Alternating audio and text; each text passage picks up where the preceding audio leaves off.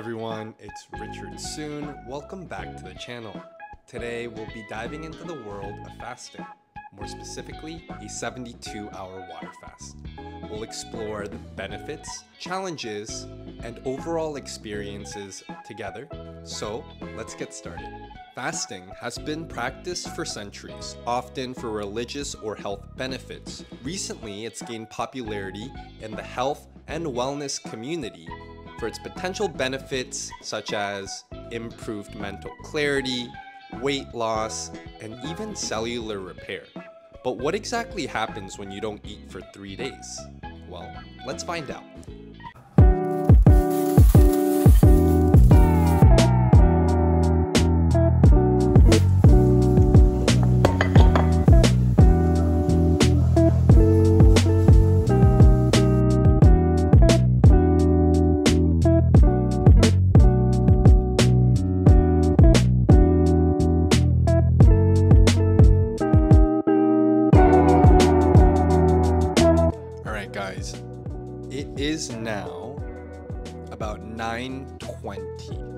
9.20. I finished eating my last meal. I'm gonna take my last bit of creatine and some other supplements. And now, starting from 9.30, let's say, 9.30 p.m. today, up until 9.30 p.m. on Wednesday. I will not be eating any food. Let's start this. Oh, before we do, also, let's take a look at our face. So, right now, my skin is not the best either. I've been just eating a bunch of ice cream and junk food and stuff like that recently. Haven't been working out as consistently either, so there's that. But I'm getting back into it. Let's see what we look like 72 hours from now. I'll give you guys my weight, I'll give you a physique check so that we could compare what we look like before starting this journey and after.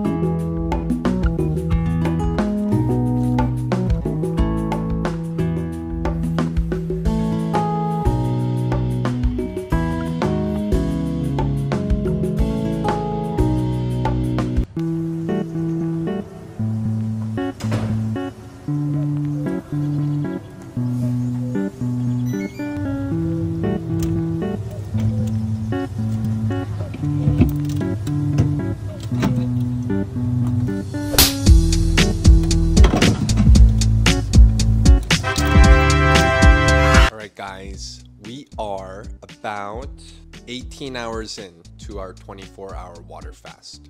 In the beginning, it's not going to be that difficult. It's about 3:30 now. We started at 9:30 p.m. yesterday. In order to keep my mind off of food, I am going to be reading this book, Atomic Habits. I've been wanting to read it for a while. I'm going to go to the gym later and I'm gonna drink some Kirkland sparkling mineral water and Zephyrhills spring water. Drink spring water, not purified water. And hang out with Zoro and just let the time flow.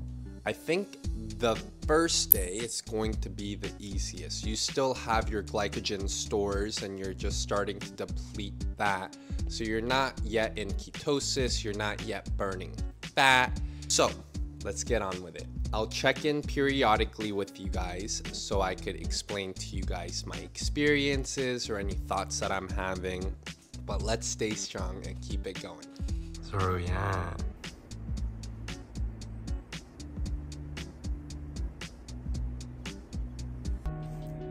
I also have one other book. It's called The Creative Act of Way of Being by Rick Rubin. I'm almost finished with this book actually, so I'm going to finish this as well. Reading has been something helping me mentally, spiritually, even physically. It all carries over. So I'm gonna finish reading this book, then I'll get on with Atomic Habits.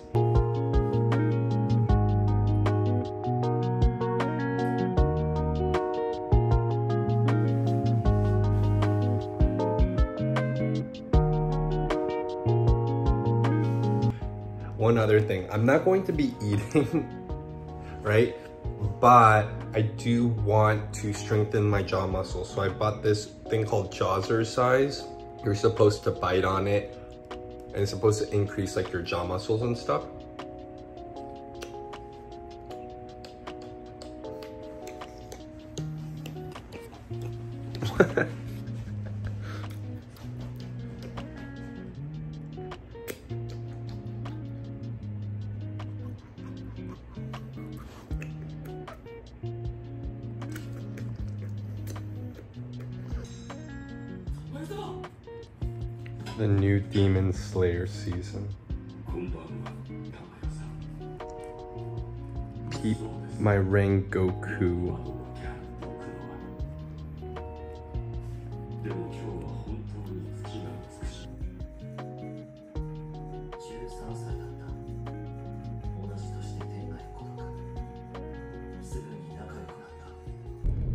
Alright guys, now we are off to the gym. I do usually go to the gym fasted, not always, but I've been practicing intermittent fasting for quite some time now. So I'm very used to working out on an empty stomach. But for anyone who is not very used to fasting, uh, I'd recommend that you do kind of ease your way into it. I'm going to go to the gym because that's my happy place. I'm gonna be working now, not taking it too, too heavy or hard. And then, pause. And then I'll come home and rest, but no post-workout meal or anything like that. Let's get it.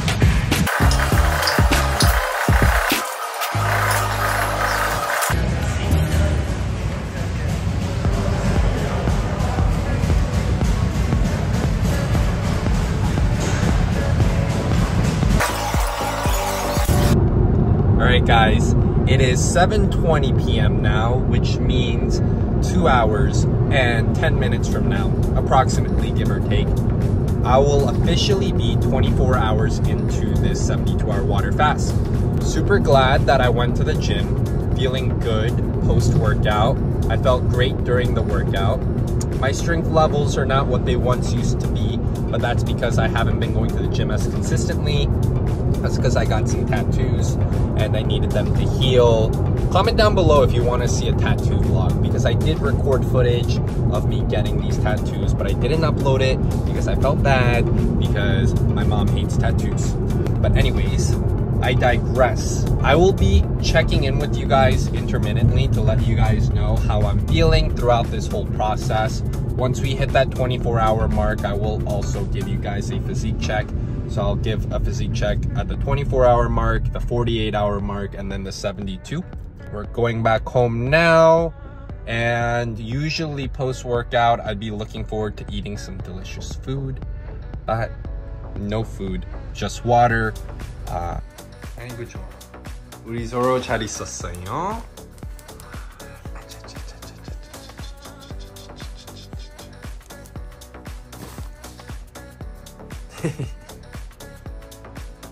so I can't have any food, but Zoro can have treats. some like these beef treats. I go, yummy, boy. It's about 8.30 now. I will say that I am getting quite hungry now that it's almost 24 hours. I'm getting colder, so I have my long sleeve on. And I'm distracting myself by watching anime. Alright guys, it has been about 24 hours. It's 9.09, so in about 20 minutes it's going to be 9.30. I'll give you guys a quick physique check, but I wanted to come in and let you guys know that right now I have kind of a bit of a headache. Whatever you eat goes into your body, gets stored as glycogen, so your body uses that as energy. But once your body depletes itself of its glycogen storage, it starts burning fat for fuel. So that kind of transition can be uncomfortable to some. Right now, I do have kind of that brain fog, and I am feeling a little bit mm, not the best because I am hungry and I am transitioning into ketosis probably. But I'll give you guys a quick physique check at 9:30, and I want to let you guys know that this first day is probably going to be the hardest. The transition part. Going to sleep tonight is probably going to be the hardest because I have trouble going to sleep when I'm hungry. But uh, day two and three should get easier from what I remember. So let's just trust in the process. All right, today 184. So we lost a couple pounds. All right, 24 hours in physique check. Definitely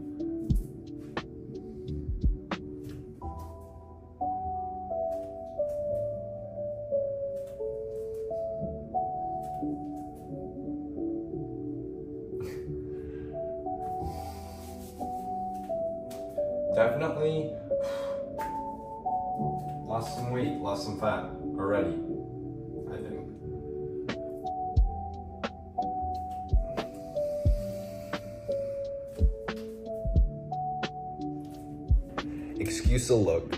I have my headband on, my glasses, my nasal dilator, which is for sleep apnea, and I'm watching a show called The 8 Show. It's a little past 11, and I'm about to go to sleep. Really hungry, I have a headache, but from what I can remember and from what I've read and seen, it gets easier. So when I wake up tomorrow, it should be better. Although I really want to eat something, I won't because I started this 72 hour water fast and we're already a third way through, more so. So see you guys tomorrow. Good morning, guys. It is day two. It's 12:10 now, so we're at about 39 hours into this 72 hour water fast. And I'm not going to lie, I had trouble sleeping last night because I have a hard time sleeping when I'm hungry. But I'm awake. I have my food for the day, which is some water and some more water. I'm going to go get a haircut and mow the lawn. From what I can remember, from the last time I tried the 72 hour water fast, I did have coffee last time and I miss it. This time I'm only drinking water. But what I can remember from the last time that I did this is that your body starts getting used to not eating and starts burning fat for fuel in this mode of ketosis. So, honestly, I feel pretty good this morning. I wanted to sleep in because I didn't sleep so early last night. I ended up binge watching all of the 8 show on Netflix and I'm awake now. But I do feel oddly clear-headed. Let's get on with our day. Alright guys, just got a little haircut, just cleaned up the sides a little bit.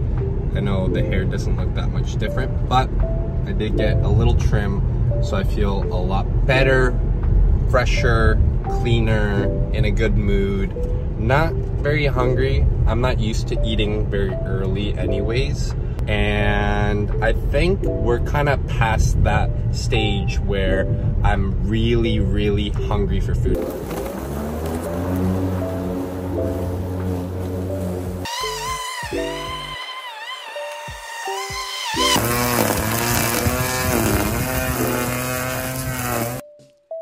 Hey guys, we are on hour 48 of the 72 hour water fast. I'm going to give you guys my weight and a quick physique check.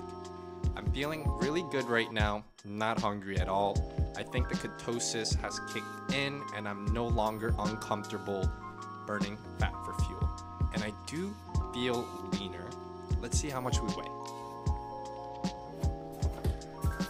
Wow, we are 179.4. I haven't been in the 170s Nice. in a minute. Feeling leaner, looking leaner.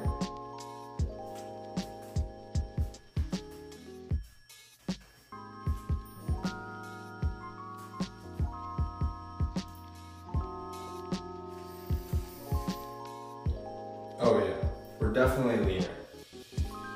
In just two days, not even. Eh, 48 hours.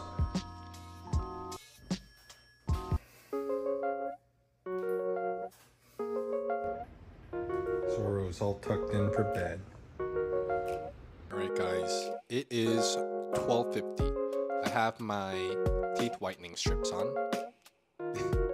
Got my nasal dilator for sleep apnea. I'm having a little trouble sleeping as I did the night before.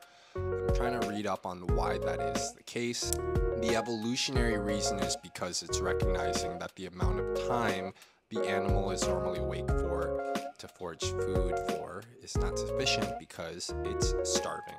Your body also, it's saying, produces a chemical called orexin, which wakes up the brain. Usually, it's not activated or available when your brain shuts down and goes to sleep, but when you have a caloric deficit and you're fasting and you have lower energy balances, you release more of this chemical and hormone.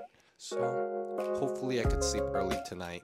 This study does also talk about, though, that although some of the patients who do multi day fasting will struggle with falling asleep and staying asleep at night, however, on the flip side, the sleep you do get actually seems remarkable.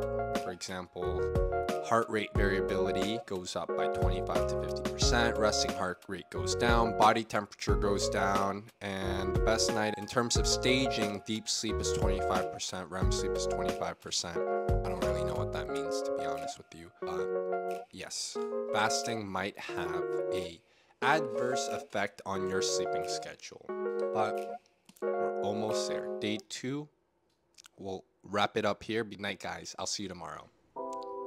Good morning, guys. It's day three, the final stretch. We're almost there. I woke up today. It is about it's 5:10 a.m. now. I believe I went to bed around midnight, 1 a.m. around there, and I feel very well rested. This is where your body should be in full ketosis, burning fat for fuel, and also going through the process of autophagy, where your body gets rid of its old and damaged cells and trades it out with new and healthy ones and continues with cellular repair. I will say just some initial thoughts. I'm a little colder than usual, and I don't know if it's because I hit a chest and triceps and arms day a couple days ago, but my triceps are really sore. I have these muscle pains in the morning, but it could be for various factors. Today, I'm not exactly sure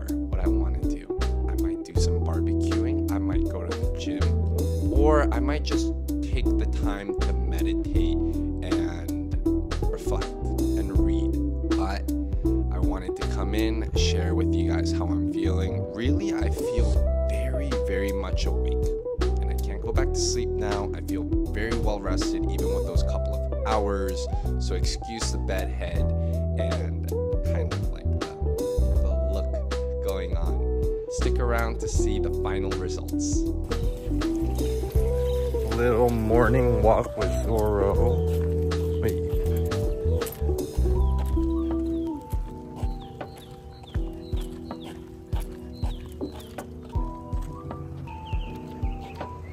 Get your steps in. I'm feeling good, honestly. Feel like I have a lot of energy on day three. All right, guys, we're on our way to a meat market so I could pick out a brisket so I could slow cook that for about 12 hours today. I'm not going to break my fast with the brisket because it's recommended that you kind of start with something light, like maybe a soup or some smoothies in the beginning.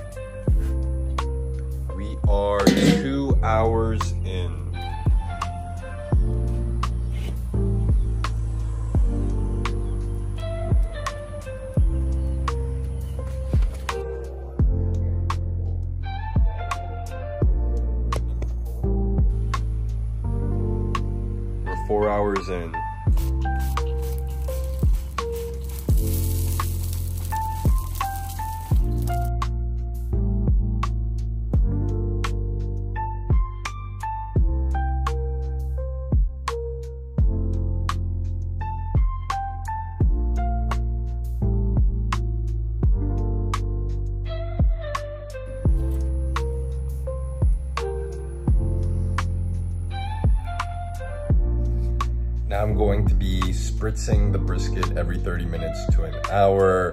Right now it's about 1.30 p.m. So eight hours from now will officially be at that 72 hour water fast mark and I'll be done with this 72 hour water fast challenge.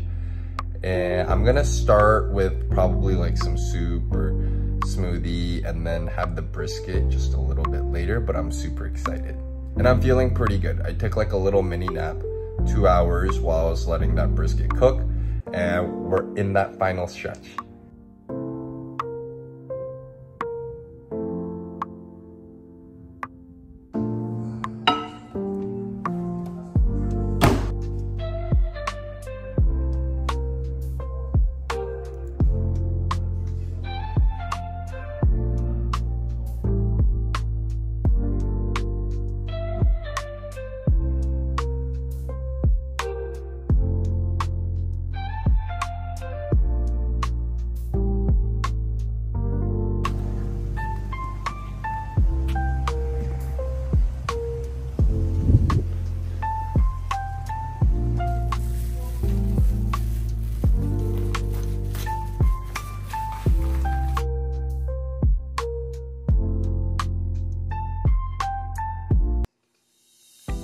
9:19 p.m. Wednesday, May 22nd. It's been 3 days, 72 hours since I started my water fast. It's important to break your fast gently. So, I'm going to first eat something light, a fruit juice made at home, some pumpkin soup, and 3 hard-boiled eggs. After that, I'll slowly introduce more complex foods into my body, such as the brisket I made today. Before we do that, let's go and check our final weight and our physique.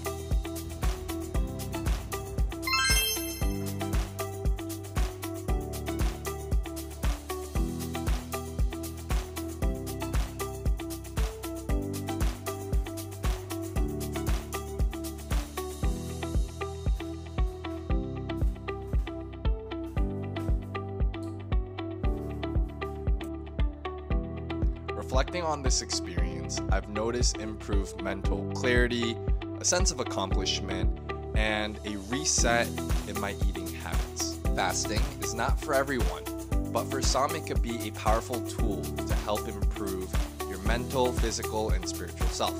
I've noticed that I've lost some weight, around seven pounds, some body fat, and I just feel overall better. So I'm first gonna start off with the eggs, the soup, juice, and some sea salt. Once I eat this, I'll slowly introduce more complex foods like the brisket. All right, we're having our first, it's not a bite, but we're having food. Mm. This soup is really good. Some juice.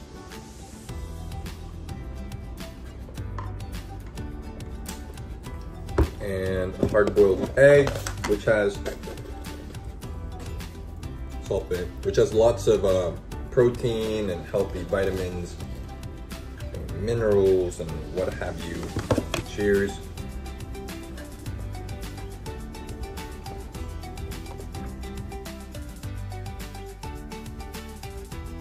Wow. Thank you for joining me on this 72 hour water fast journey. If you enjoyed the video, give it a thumbs up and subscribe for more health and wellness content. Let me know in the comment section below if you've ever tried fasting and what your experience was like. Until next time, I hope you stay happy and healthy.